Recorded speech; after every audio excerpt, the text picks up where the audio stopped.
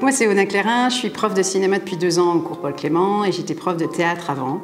Je fais à peu près tous les euh, niveaux de théâtre, débutant au cours Avignon. Et puis, euh, depuis l'année dernière, j'ai pris euh, les cours de cinéma et certains stages de cinéma. Donc, ce qu'on fait dans l'année en cinéma, c'est que la première partie, on travaille tout ce qui est training, improvisation, un peu classique, qu'on fait aussi au théâtre. Donc, sans penser contraintes de jeu, acting devant caméra. Et puis, on commence à, travailler des textes plutôt ciné-série donc à la caméra, en chant contre chant, voilà, tout simplement pour voir la différence de jeu qu'il y a, de ne pas faire travailler, porter la voix, de ne pas regarder la caméra, euh, de, ne pas bouger quand on est en amorce, enfin toutes les petites contraintes comme ça qui sont, euh, qui sont assez, assez sympas à appréhender en début d'année. Ensuite, on prépare donc notre court métrage de fin d'année en mode écriture. Donc il y a un pool d'écriture qui travaille sur l'écriture et moi je regarde de loin pour ensuite tout reprendre et tout casser et tout réécrire, comme le métier, quoi. Il faut que les gens soient préparés.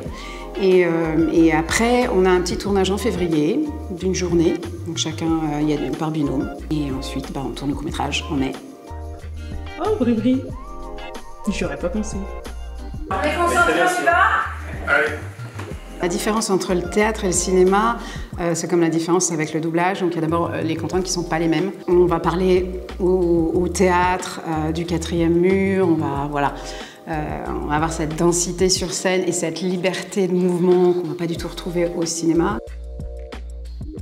Pour ce qui est de l'acting, en réalité, c'est à peu près la même chose. Le travail de fond, c'est toujours le même, c'est de retrouver du naturel dans les contraintes. Je me demande à mes élèves, comme beaucoup viennent du théâtre, bah, c'est de bah, d'essayer d'oublier ça, quoi, la, caméra, essayer de retrouver euh, leur manière d'être vraiment très très naturelle. Et ça, c'est la grosse partie du travail, c'est de casser complètement les automatismes du théâtre.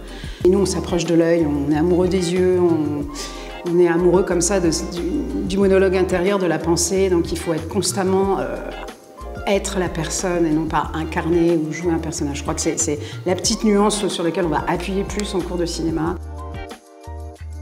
Alors, euh, pour les futurs étudiants et étudiantes qui aimeraient venir en cours de cinéma, venez. Je parle très vite et j'ai euh, toujours plein plein d'idées, plein d'envies. Donc euh, venez, lancez-vous, il n'y a rien à perdre.